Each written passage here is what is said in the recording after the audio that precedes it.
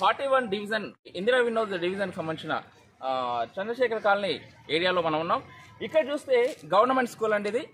ఇది పేద పిల్లలు చదువుకునే primary school government primary school.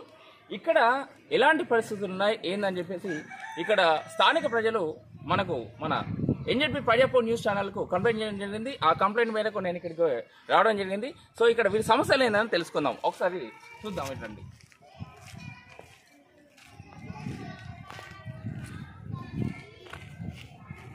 ఇది చూసినట్లయితే ఇక్కడ ఒక మొరం లేదు ఈ బురద బురద ఇప్పుడు వర్షం లేదు వర్షం లేకూడదు వారం అవుతుంది. వారం నుంచి వర్షం లేకున్నా కానీ ఇలాంటి పొజిషన్ ఇలాంటి టైంలోనే ఈ విధంగా ఉంది. అంటే వర్షాలు వచ్చినప్పుడు ఎలా ఉంటుందో పరిస్థితి అర్థం చేసుకోవచ్చు. అదేవిధంగా ఇది కనుక చూసినట్లయితే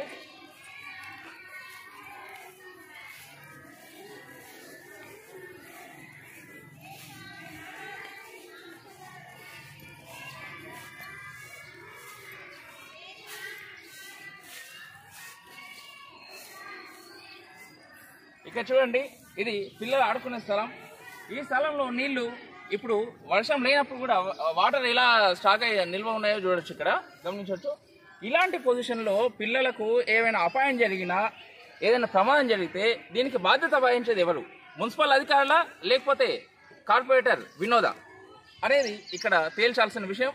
సో ఈ స్కూల్ తరఫు నుంచి ఎన్నో రోజుల నుంచి ఎన్నో నెలల నుంచి స్కూలు అడ్మినిస్ట్రేషన్ కావచ్చు లేదంటే స్థానిక ప్రజలు కావచ్చు అంటే వాళ్ళ పిల్లల్ని ఈ స్కూల్ పంపిస్తున్న ప్రజలు కావచ్చు కంప్లైంట్ చేస్తున్నారట.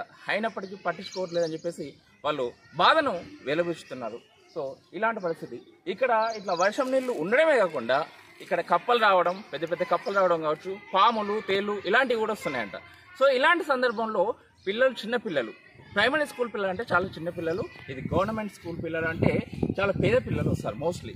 సో ఇలాంటి వాళ్ళకు పట్టించుకోకుండా అన్యాయం జరిగితే దానికి అన్యాయాన్ని ప్రశ్నించే వాళ్ళు ఉండరా? లేకపోతే ఈ పేద పిల్లలకు సంబంధించిన పనులు చేయరా? పేద పిల్లల్ని పట్టించుకోరా? అంటే ఈ పేద పిల్లలు చదువుకున్న స్కూల్కు అసలు మీరు ఏమాత్రం ప్రాధాన్యం ఇవ్వరు? దీనికి సంబంధించిన పనులు చేయరు. రోజులు గడుపుతూ ఉంటారు. మాటలతోనే రోజులు గడుపుతూ ఉంటారు ఇలాంటి పనులు చేయరు. అనే విషయం ఇక్కడ అర్థమవుతుంది.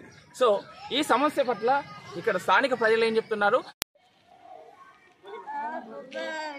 పిల్లలకు పట్టించుకుంటలేరు చేస్తలేరు చిన్న పిల్లలు ఇక్కడ మొత్తం చెత్త బురద ఇటు చూడండి మొత్తం. ఏ కౌన్సిలర్ ఏం గల్లి ఏంటిది? మాకు తెలుస్తలేదు ఏంది సార్. ఇక్కడ ఏంది? చిన్నపిల్లలు ఉన్నారు పాములు వస్తాయి ఏమి వస్తాయి? బురద మొత్తం చెత్త. ఇది ఏంటిది ఓట్లు వచ్చినప్పుడు ఓట్లు వేయండి అది వేయండి అంటారు. మాకు మొత్తం పరేషాన్ అవుతుంది. పిల్లలకి ఇక్కడ పంపించాలంటే భయం వేస్తుంది రోజు పిల్లలు పడతారు అవి ఇవి దెబ్బలు తింటున్నారు. ఏం చేయాలి? రోజు అంటే ఇక్కడ ఉన్న సమస్య ఏందమ్మా? సమస్య మొత్తం చిక్కడు. అది ఏమంటారు? బురద. బురద. బురద అంటే నీళ్ళు నిలిస్తాయి బాగా? బాగా నీళ్ళు నిలుస్తాయి పాములు వెళ్తున్నాయి. కప్పలు పెద్ద పెద్ద కప్పలు వస్తున్నాయి ఇక్కడ. పిల్లలు భయం పడుతున్నారు. స్కూల్కి రోజు విడిచిపెట్టడానికి మేము రావాలి. కంపల్సరీ. గవర్నమెంట్ స్కూల్ ఉన్నాయని మేము పేద పిల్లలు ఉన్నాం మేము పేద ఉన్నాం. చదివిస్తాం ఎందుకు? చదువుకోవడానికి పిల్లలకి ఇక్కడ ఇక్కడ బాధ లేదు ఏం లేదు. పైసలు ఎక్కడ మేము గవర్నమెంట్ స్కూల్ ఎందుకు చదివిస్తున్నాం సార్. పిల్లలకి పాములు వస్తాయి ఒక్కొక్కసారి మేము కప్పలు వస్తున్నాయి. ఏమొస్తుంది? బుడదల పడిపోయి మొత్తం బట్టలు ఖరాబ్ వాళ్ళకి ఊకే సర్ది జ్వరం వస్తుంది పిల్లలకి. ఆరోగ్యం కూడా బాగుంటలేదు. ఈ- ఇలాంటి వాతావరణం ఉండడం వల్ల. ఇది ఏం మీ గల్లీ అంటే మాకు ఏం తెలియదు దీనికి సంబంధించి ఎవరికైనా చెప్పారా? చెప్పినాం సార్. ఎవరు కార్పొరేటర్ చెప్పిండ్లా మున్సిపల్ అధికారులుగా ఏం మోరం ఇస్తారు? ఇక్కడ ఏం చేస్తలేరు? ఆ, ఏం ఇక్కడ కార్పొరేటర్ పేరు తెలుసా కనీసం మీకు?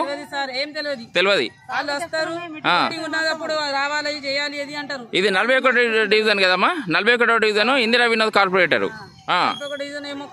ఏం తెలియదు మాకు. ఏదైనా కావాలంటే వాళ్ళు వస్తారు. అవసరం కదా మా అవసరం పట్టించుకుంటలేరు ఏం చేయాలా మేము? పిల్లల కోసం బాగా పరిశాన్ అవుతుంది. ఆ, వాటర్ మొత్తం నైట్ తాగి మొత్తం పాడేశారు వాటర్ కూడా ఉండాలి ఇక్కడ. బురద ఎవరు చూడరు. పిల్లలు డోర్ల మీద లొక్కుతున్నారు ఆయమ సరిగ్గా లేదు. జీతం ఆయమ కూడా ఇస్తలేరట. అది మొత్తం తప్పు కదా సార్. ఎవరు కూడా చెప్పాలి కదా. మొత్తం ఎట్లా వస్తారా? అంత బురద మట్టి. మొత్తం నైట్ కానీ మొత్తం మొగలు వచ్చి తాగి పడేస్తారు ఇక్కడ. పిల్లలు మొత్తం అది కోసుకుంటున్నారు. ఆ, అది నెత్తేరి వెత్తిరి అది మొత్తం పిల్లలే కాంచుకొని మొత్తం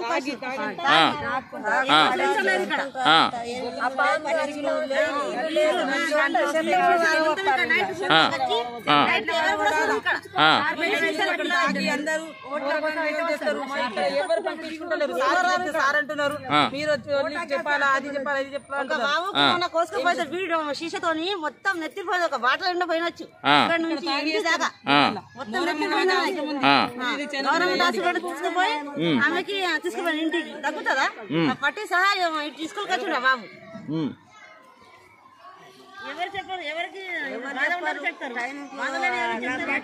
ఇదండి ఇక్కడ పరిస్థితి.